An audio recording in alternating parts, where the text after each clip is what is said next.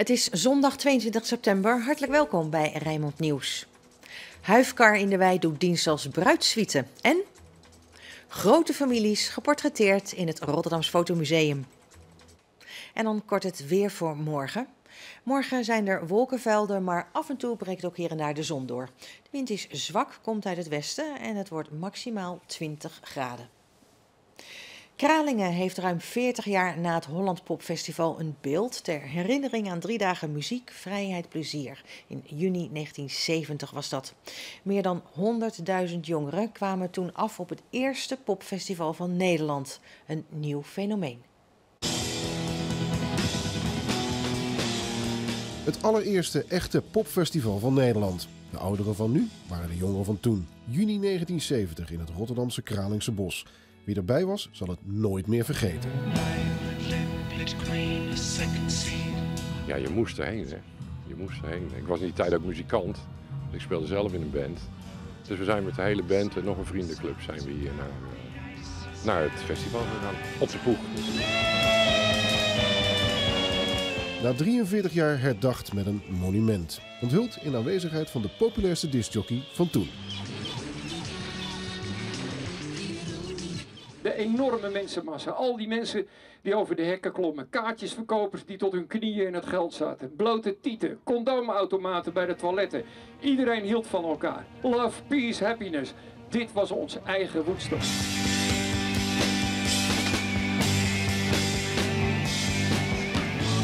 Natuurlijk wel leuk als je een monument hebt staan die daaraan herinnert aan een, eigenlijk een omvorming van de maatschappij en een gedachte. Hè, na het uh, conservatieve uh, jaren na de Tweede Wereldoorlog naar een opere maatschappij.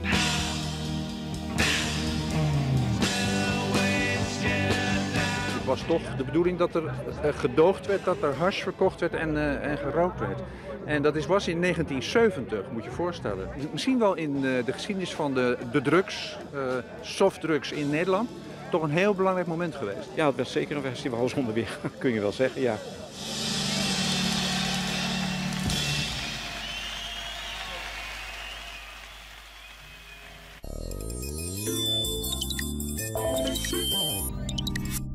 En met een moeizame overwinning op FC Utrecht heeft Feyenoord de weg naar boven weer ingeslagen. Een treffer van Tony Filena in de eerste helft was voldoende voor de overwinning in een goed gevulde Kuip. Bij de Kuip verslaggever Dennis van Eersel. Dennis, het was niet best. Het hield uh, niet over vanmiddag qua spel in de Kuip. Het was uh, daardoor ook qua sfeer in dit uh, stadion hier in Rotterdam was het ja, gezapig. Het leek wel alsof iedereen een, een kater had. De mensen werden niet vermaakt. Het veldspel van Feyenoord was erg pover. Al was er wel dat ene doelpunt wat wel heel goed uitgespeeld was door Feyenoord. Een diepe bal van Matthijs op Pelle die met de borst klaarleg voor Verlena. Het was een van de weinige schaarse hoogtepunten vandaag in de Kuip. En Dennis, donderdag speelt Feyenoord voor de beker tegen FC Dordrecht. Dat wordt nog lastig? Nou ja, Dordrecht is wel de koploper van de eerste divisie. Ik heb ze zelf vrijdag zien spelen. Oké, ze verloren van Willem II, maar toch, ze staan nog steeds knap bovenaan. En Dordrecht is een gevaarlijke ploeg. Maar normaal gesproken is Feyenoord toch een maat te groot voor FC Dordrecht. En wat bijvoorbeeld wel zelfvertrouwen kan gaan geven vanmiddag... is het feit dat Feyenoord een keer de nul houdt. Dat er geen defensieve steken zijn blijven vallen. Maar die ploeg van Ronald Koeman, kortom, er zijn ook wel wat lichtpuntjes vandaag in Feyenoord. Is natuurlijk gewoon de favoriet tegen Dordrecht donderdag. Dankjewel, Dennis van Eersel. En morgen in Sportclub Rijnmond uiteraard meer over Feyenoord. Dan staan we ook stil bij het 14e kampioenschap van de honkballers van Neptunus. En straks in FC Rijnmond Harry van der Ham te gast, de trainer van FC Dordrecht. Grote families zijn dit weekend op de foto gegaan in het Nederlands Fotomuseum in Rotterdam. In het kader van de Nationale Fotoweek konden families zich gratis laten portretteren door het fotografenduo Linda Malherbe en Joop Rijngoud. Jullie horen ook bij elkaar? Ja, en hij. Uh, hij, ga eens naar haar toe. Het duo Malherbe Rijngoud fotografeert al langer grote groepen. Eerder maakten ze het boek Zuiderlingen over groepen op Rotterdam-Zuid en Noorderlingen over Noord. Zondagmiddag ontvingen ze de familie Silva Cardozo. 30 personen, vier generaties.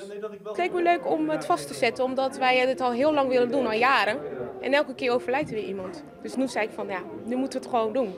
Dit kwam echt als geroepen en uh, ik dacht van, nou ja, ik ga ons gewoon opgeven. En toen werden we uitgekozen. Nou, Toen heb ik ze bij elkaar geroepen en uh, zo staan we hier vandaag. Dan zie je gelijk allerlei soort verhoudingen in de familie. En we vragen meestal even aan zo van stel je even voor, uh, wat zijn jullie voor familie? Een sportieve familie, muzikale familie?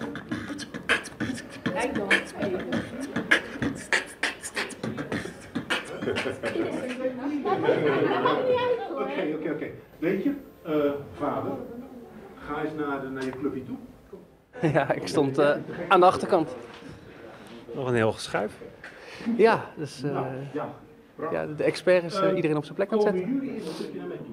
Um, dit, het zijn allemaal familieleden van mij. En, um, ja, okay, goed zo. familieleden. Wie, wie staat achter je? Dit is mijn grote broer. Je grote broer? Ja.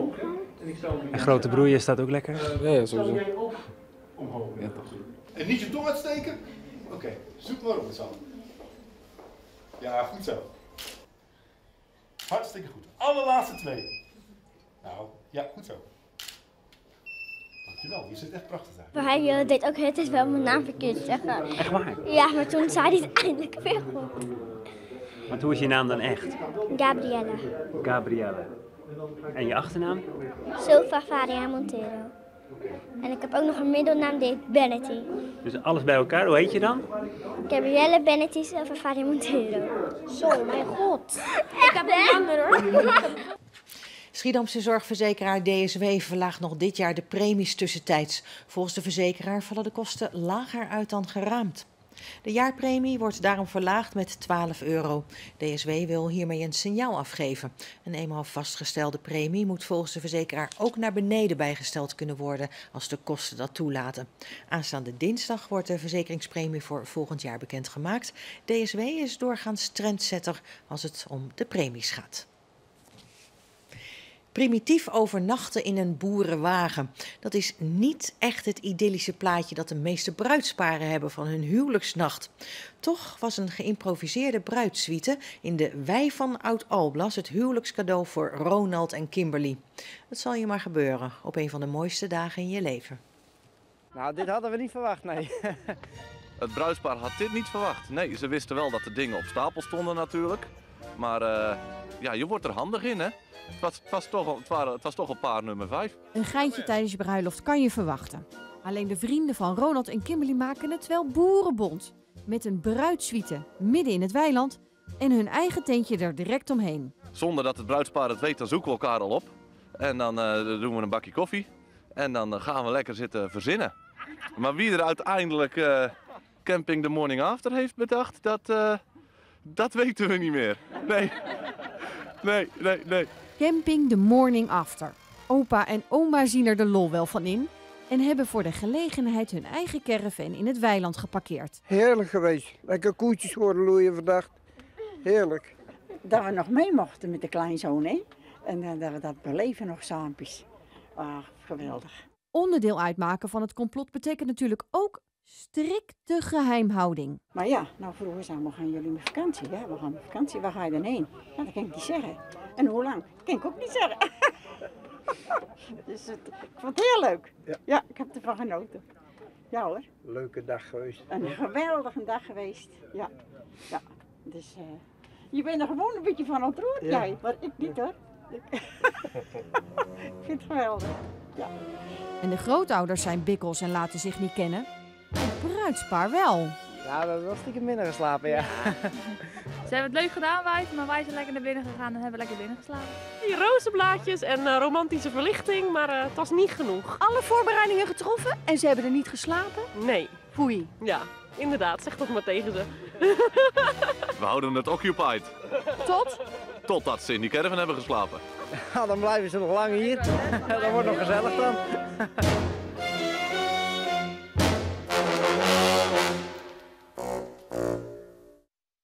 En nog de felicitaties aan het bruidspaar. Dat was het. Meer nieuws vindt u op onze site rijmond.nl. Ik wens u nog een hele fijne dag verder.